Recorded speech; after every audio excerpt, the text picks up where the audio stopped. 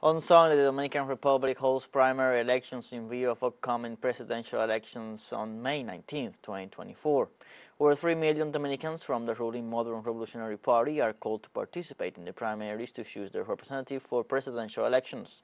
In addition, the mayoral aspirants of the municipalities of East and West Santo Domingo, the municipal district councilors, and the vocals of their political organization. In order to do this, the Central Electoral Board set up nearly 1,149 polling stations in 1,502 electoral districts where voters will go to exercise their right to participate in the elections.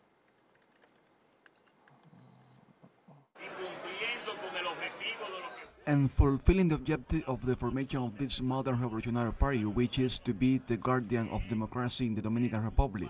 And that is why we are the only party that today is doing primaries to practice democracy.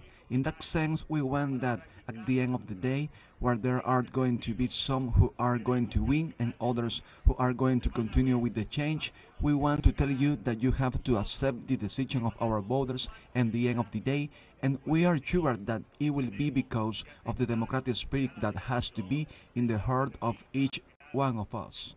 In Haiti's